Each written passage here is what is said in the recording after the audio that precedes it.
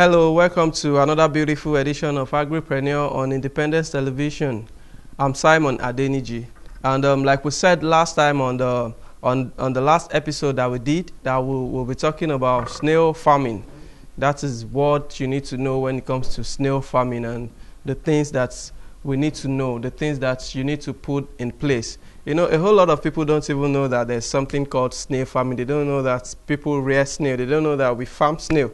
All they know is that you can go into any shady backyard of yours where you have trees and leaves and pick snails and eat. Yes, it is possible. But even at that, we have um, a method and different types of housing system whereby you can keep snails.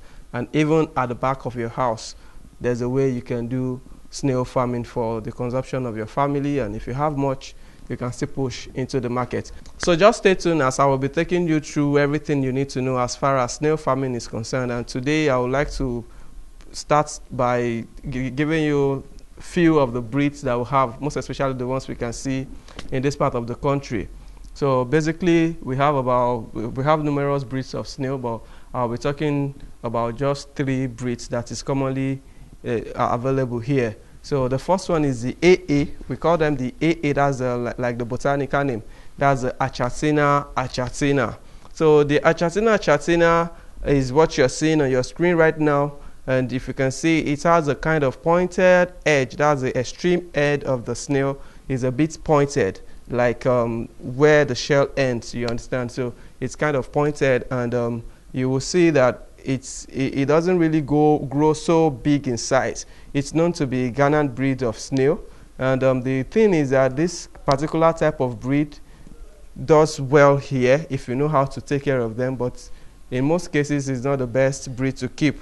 But the advantage over the other ones is that they, they produce more, they lay more eggs compared to the AM counterparts. The AM is the Achatina marginata.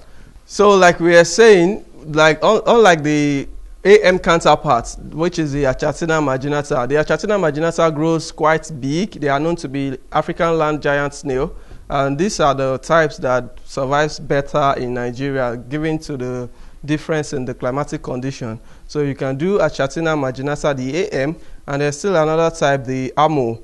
The Amo 2 is a very good breed that you can also do here. This one has a kind of pinkish end of the tip. They have a kind of pinkish thing at the extreme end of their of their shell. So those are basically the most obvious um, differences that you can see in all these breeds of snail that we are talking about today. So you will see that basically from the scratch we are able to tell you what they look like and the ones you you're probably supposed to go into.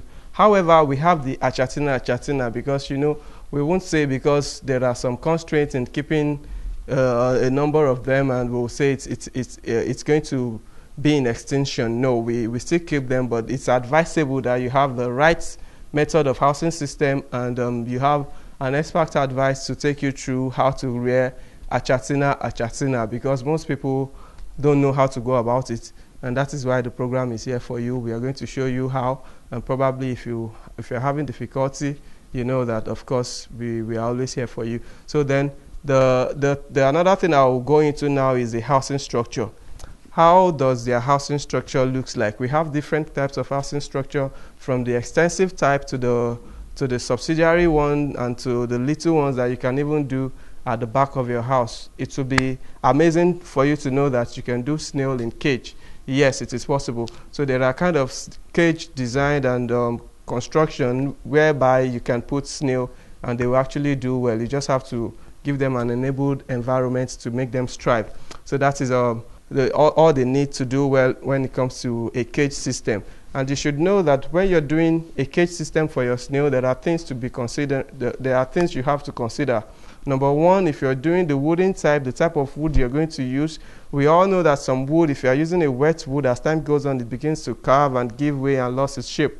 So if you're not if you're not picking the right choice of wood from the start, then you're calling for maintenance in no time, which is not so good for you because you want to do something that will give you yield upon yield before you even talk of touching them or doing any sort of maintenance or repair. So that's that being said and done. Then we'll now go into the other semi-extensive type of housing system. Also, we have the fully automated type of housing system for snail farming. That is for people that really wants to do snailery in big scale.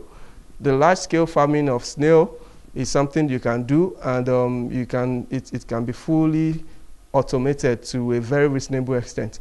So this will give you the enablement to train as small snail as you have if you have the resources. And we know that snail is, no, is, is not a small meat in the market. And we know that it's not just something that you can walk into the market and we, we know it is um, is an executive dish, so to say. Let me put it that way. Snail, snail, um, snail is an executive dish in every home.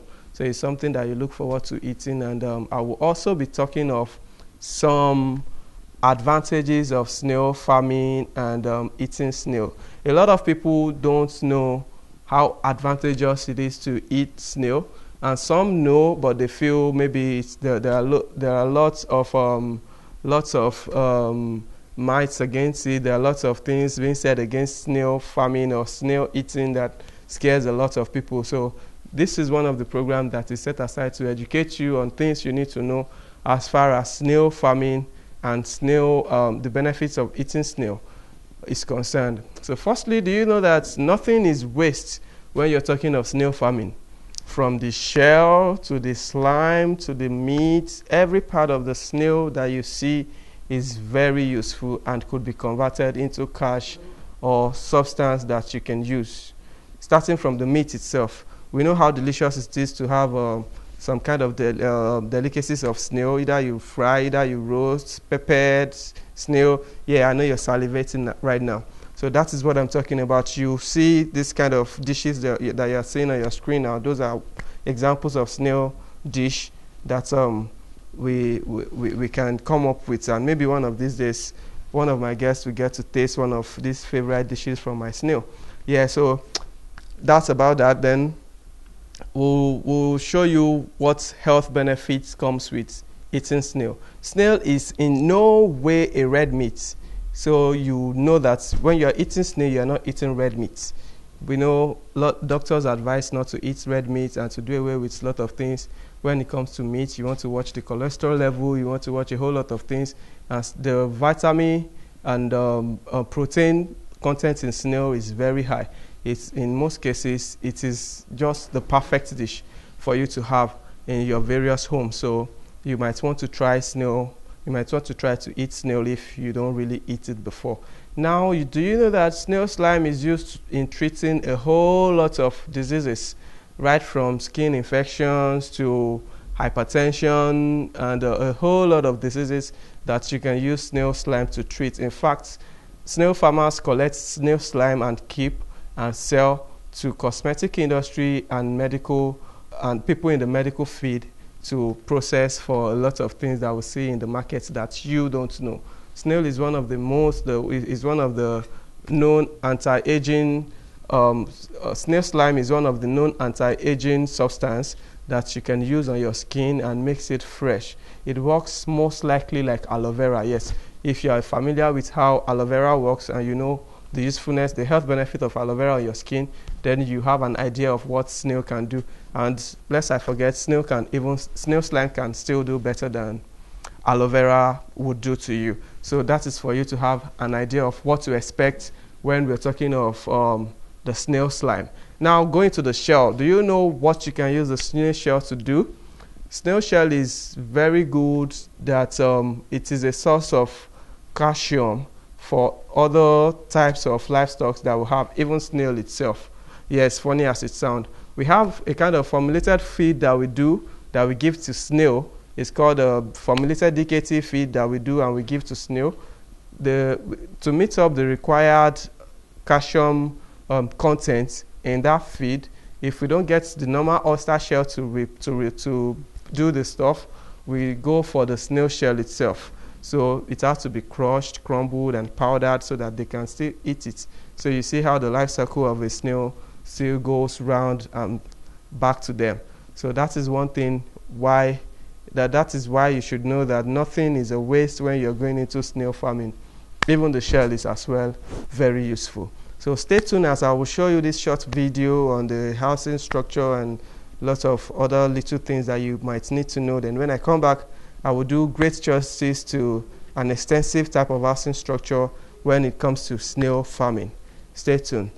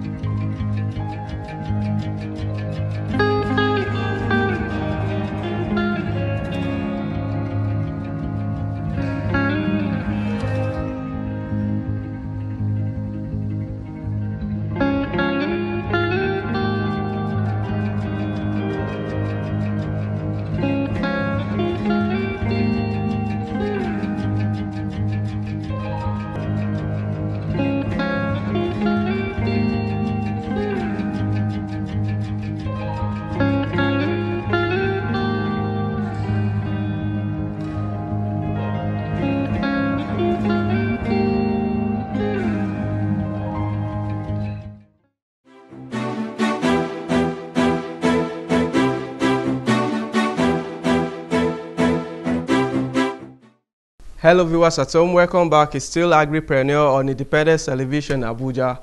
I'm still Simon Adeniji. So um, I believe you have really seen one or two things to one or two take, take, take away point from the video that, that you've seen right now. So now I will try as much as possible to do justice to that type of house, extensive housing, housing structure that you have seen in the video. Number one, I'll start from the type of um, uh, the size of the construction and what you can do with it and the necessary things that you need to put in place when we're talking of the extensive housing structure. An extensive housing structure, um, the size of an extensive housing structure will have to do with your capacity, like the, the size you're looking at producing at the end of the day.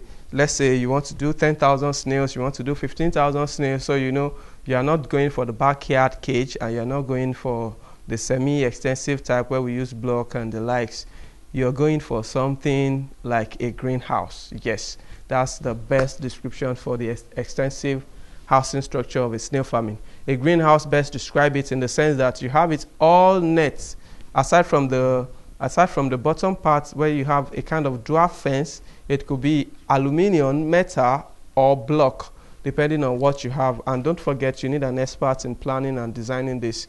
So aside from that, from down all the way up and round, it has to be net. There's, there are different types of nets that we use in this. It's not, the, it's not the mosquito net because it's going to be exposed to sun, exposed to rain.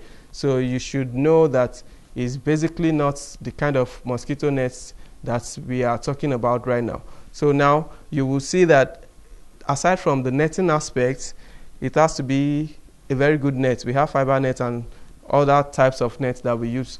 So aside from the netting, now it has to be reinforced with iron pipes. Yes, I, I prefer iron pipe, hot dipped galvanized iron pipe because it is an anti-rusting. It doesn't rust, and um, if if it is a coated one, you know that yes, it's really going to last a long time before you talk of maintenance. And like I used to tell people, when you're going into any aspect of farming, make sure you try your possible best to put every necessary thing in place right from the housing structure because if you don't do well to, if you don't do justice to this you will soon start spending on because that is why I tell you to try and put necessary things because if you don't do justice to this, you will soon start spending on maintenance when you are supposed to be spending on other things that, that is productive. So, like I was saying, don't just do things for doing its sake. Make sure you put in your resources and try to get the best out of whatever you want to do. So, from there now, after talking about the the galvanized pipe and the, um, the galvanized pipe that you need to use as a reinforcement all the way from up is going to serve as your roof, the body down to the soil. You need the cement. There. There's a way you do the concrete aspect of the floor of the floor in a way that you have a space where there's no going to that that is not going to be cemented. Now this is one of the most technical aspects. You want to keep the inside of this place out of um, termites and all other ants. Then it has to be treated from the, from the scratch even before you do the concrete. Yes, that is how far you want to go so that you protect your investment.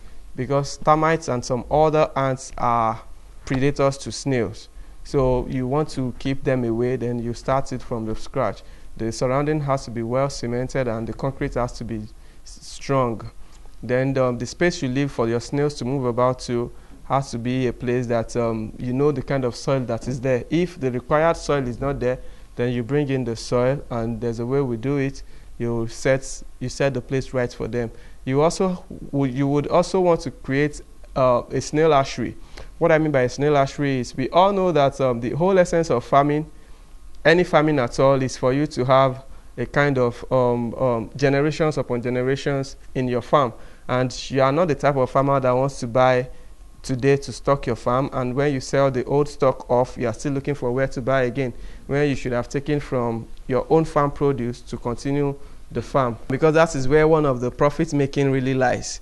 When you don't have to buy again, then you, you know you have everything in your farm. It's just to stock on and keep going and going like that. So you want to put in place a snail hatchery how do you do this? We use lots of materials, wood, nets, and um, steel galvanized pipe, or you use block, regardless of what you want to do. The main purpose is for you to have a suitable soil where you can bury the snail, the snail eggs, and there's a method of doing all these things. Bury the snail egg, and you make sure the ash. The reason why you have to isolate them and you don't just bury it where you have these um, big, big giant snails in your farm is that snails cannibalize. Yes, I know you're surprised snails cannibalize like every other animals. I mean, snails eat each other. So you don't want the bigger snails to consume the smaller ones that are just hatching. That is why you have to keep and separate them from the other ones so that you you have control over the ones that are just coming up. So so to say, after this being put in place, then we need to look into the watering system. We know that if you're using the cage type, of course you have to go out there are times that you give them food, and snails are nocturnal animal. What I mean by nocturnal animals is that snails are the kind of animals that are active in the night. So you can't barely see a snail walking around the day and doing. If you see any snail walking around the day, it sends you a signal. That kind of a snail is probably a predator. Yes, one of the ones that eats the other ones. That is one of the things you need to look out for. So there are lots of things that uh, we see in black and white that might not be 100% applicable on the feed, but you have to know the practical knowledge and love your animals to know what they want at the right time. And that is when you can do it for them. So aside from this, you know that having your snail hatchery set, everything is in place. We are talking of the watering system now. You don't you cannot probably be carrying a jerry can or something and start trying to water maybe a plot of land like every day. You know how tiresome it could be yes. So there's an automated system that we always put in place for an extensive snail farming structure whereby it gets to water the snails and the surroundings every time. Makes it look like rainy season and this is one of the beautiful aspects of it because you can have your snails all year round.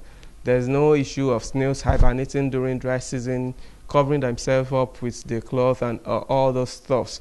So you have your snails all year round because you can really make it look rainy to them even in dry season. And that's one of the good part of it. So the automated house uh, sprinkling system now is being put in place where we use sprinklers and all other materials that we use so you really want to put all this in place because you want uh, the best from your snail and as well you want it you don't want to be stressed. Another thing i would quickly talk about is their nutrition. Snails basically will do just fine if you feed them once in a day. They don't really eat much. And you don't feed your snails in the morning because they are not active during the day. So why feed them? You don't feed them in the morning. A lot of farmers have been doing this and they are making a lot of mistakes with this because what happens is most especially if you are the type that don't use the dkt formulated feed and you give them the you, you give them fruits yeah so to say some people believe that snails can eat rotten food they can eat anything just give it to them they will eat. No. Like human beings snails doesn't just eat anything. They eat good part of the fruit they eat they like good things just like you. And what you do to them when you give them when you serve them fruits in the morning when they are inactive to eat is that you're basically calling fruit flies to come and infest your snail yes that reminds me we'll talk about some of the insects that can infest your snail that can cause havoc on your farm one thing you don't want to joke with at all is the spider Yes, spider is a very big predator in a snail farm. You don't want to see them around. That is why some kind of managemental practice has to be put in place where you take away all these predators that you might have. Maybe it is um, um, subsequent fumigation. There's a way we go about it. subsequent fumigation, treating the soil, and all these things because we know that spider can lay eggs somewhere and you might not know because these these are not the things you, that you can basically see with your naked eyes. So you have to put in some managemental practice to make sure that you get rid of all these things. Aside from spider, there are still other ants and um, that, that, that, that are predators to snail. You don't want to have frog in your snail farm. Frog will basically suck out all your baby snails. So you don't want to have frog or toad, any of those two. You don't want to have them. And lizard, you don't want to have any reptile in your snail farm. And we all know that snake is not an exception too, because even human, you can't have snake around in any of your farms, not to talk of the snail farm. So you want to keep all reptiles away from your snail farm. This is one thing you don't want to joke with. So going forward now, you will see that there are a lot of things you need to know when it comes to snail farming, and um, why just dabble into it without getting the required knowledge and having someone take you through the step by step in the um, snail farming system. So that is basically how far we can go on today's program. The topic is snail farming, and um, I believe that we have been able to touch one or two things that you know. If you have any question, observation, you have some points, you want to make comments, the number that you're seeing on your screen is always what you should call. And don't forget to follow us on our social media handle and drop your comments. Whatever you have to say, we are always ready and willing to hear you and, of course, work with you. So I'm Simon Adeniji. Don't forget to stay tuned, same time, same station next week. Bye.